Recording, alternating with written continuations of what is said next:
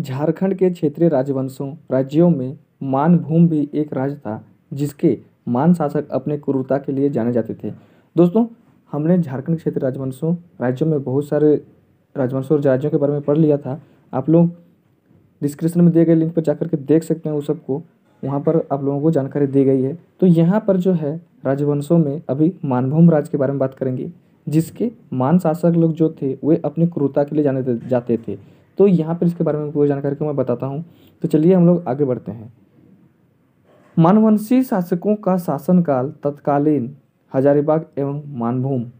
वर्तमान धनबाद और उसके आसपास का क्षेत्र था। तो दोस्तों, मानवंशी शासक जो थे, उनका जो शासनकाल था, उस समय का हजारीबाग और मानभूम क्षेत्र में था। और अभी अगर हम लोग मानभूम को कहेंगे तो वर्तमान का धनबाद और उसके आसपास का इलाका। तो यहीं पर मानवंशी शासक लोग मान शासक लोग मानवंश के जो राजा थे, वे लोग शासन करते थे। आठवीं सदी के दूध पानी शिलालेख और गोविंदपुर शिलालेख में इन मानवंशी शासकों के बारे में जानकारी प्राप्त होती है।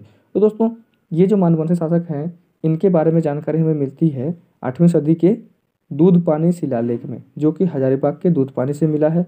और एक है गोविंदपुर शिलालेख, जो धनबाद के गोविंदपुर इलाके से गोविंदपुर क्षेत्र से मिला है यह शिलालेख। तो इन दोनों शिलालेखों से, इन मानवंशी शासकों के बारे में जानकारी प्राप्त होती है।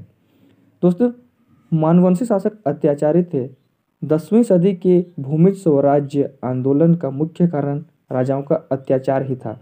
यहाँ पर इनके बारे में जानकारी यह भी मिलती है कि मानवंशी शासक लोग जो थे, वे लोग अत्याचारी थे और दसवीं सदी में एक आंदोलन हुआ था, वहाँ पर भूमि स्वराज्य आंदोलन। ये नाम है तो ये जो आंदोलन होने के कारण, मुख्य कारण जो था, वह इन राजाओं का अत्याचारी होना ही था। यानी कि अत्याचारी बहुत ही ज़्यादा थे, क्रूरता के लिए तो ये लोग प्रसिद्ध थे ही तो ये लोग अत्याचार भी बहुत ज़्यादा करते थे।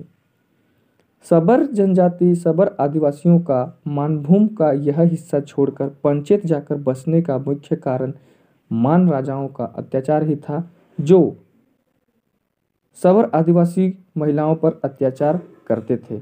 तो दोस्तों, यहाँ पर एक चीज़ और है कि सबर आदिवासी लोग जो थे, वे लोग पहले मानभूम क्षेत्र में रहते थे, लेकिन ये लोग मानभूम क्षेत्र को छोड़ करके पंचायत में जाकर बस गए। और इनका जो बसने का कारण यही था कि इनके जो राजा लोग थे, यानी कि मान राजा लोग जो थे, वो बहुत ही ज़्यादा अत्याचार करते थे, बहुत ही क्रूरतापूर्वक शासन किया करते थे, और ये जो सबर आदिवासी महिलाएँ हैं, उन पर भी ये अत्याचार करते थे। तो इन्हीं कारणों से ये सबर आदिवासी लोग मानभूम क्षेत्र को छोड़ करके पंचित क्षेत्र में जाकर के बस गए।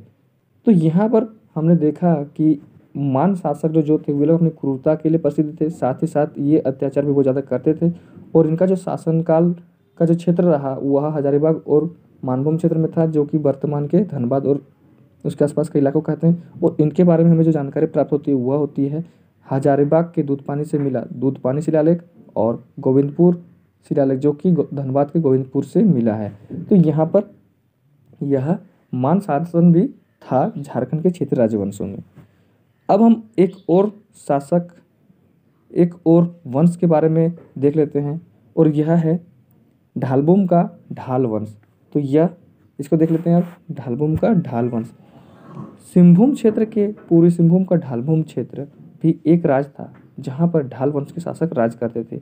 तो दोस्तों, यहाँ पे जो ढालभूम का ढाल वंश के जो शासन था, वह अभी का जो है पूर्वी सिंहभूम का ढालभूम क्षेत्र यानी कि अभी पूर्वी सिंहभूम जो क्षेत्र है, वहीं का ढाल क्षेत्र में यह राज्य चलता था और वहाँ पर ढाल वंश के शासक राज करते थे उस वक्त।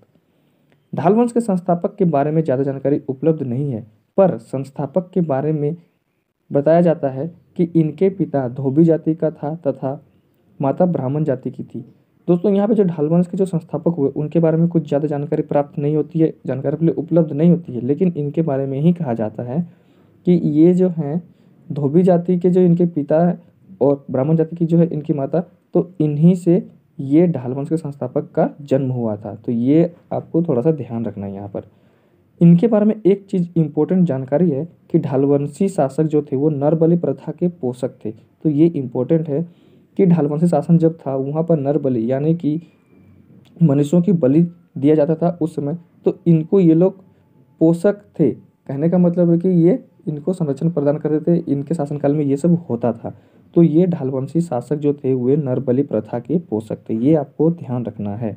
यहाँ पे हो सकता है क्वेश्चन पूछ जाए कि निम्न में से कौन सा वंश के शासक जो थे, वे लोग नरबली प्रथा के पोषक थे या नरबली प्रथा से संबंधित थे? तो ऐसे क्वेश्चन पूछता है तो आप लोग इसका उत्तर करेंगे। ढालवंशी शासक या ढालभूम का ढालवंश। ये आपको ध्यान रखना है। तो दोस्तों, यहाँ पे मैंने आप लोगों को मानभूम का मानवंश और ढालभूम का ढालवंश के बारे में बता दिया। तो उम्मीद करता हूँ कि आप लोगों को यहाँ से अगर जानकारी पूछी जाती है, क्वेश्चन पूछे जाते हैं तो आप लोग इसको बना सकते हैं।